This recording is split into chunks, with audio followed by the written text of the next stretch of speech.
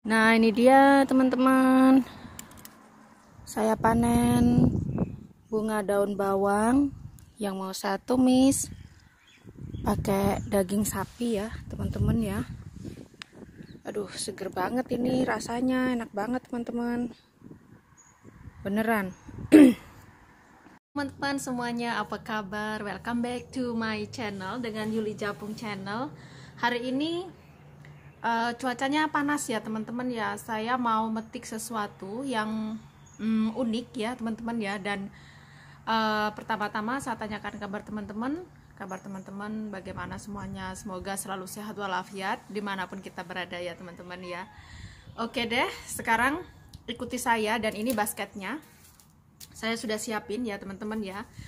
Uh, saya mau panen apa teman-teman ya? Saya mau tunjukin sama teman-teman dan uh, panennya unik teman-teman ya. Uh, membuat uh, apa uh, seneng banget di hati ya kalau kita panen sesuatu itu teman-teman ya. Yuk stay tune ikuti saya panen sesuatu dari kebun saya.